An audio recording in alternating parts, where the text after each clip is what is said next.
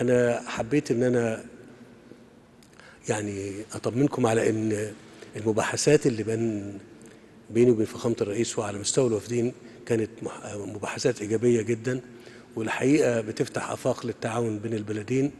وإحنا في مصر فخامة الرئيس سعداء بالعلاقة مع فخامتك ومع الجزائر ومستعدين دايما لمزيد من ال- العمل المشترك والبناء من أجل مصالح الشعبين المصري والجزائري. واسمح لي أقول لك أهلا وسهلا بيك مرة تانية وبالوفد المرافق ليك وكل سنة وأنتم طيبين وسعداء بوجودك معنا في مصر وتحياتي وتحيات الشعب المصري لفخامتك وتفضل فخامه الرئيس.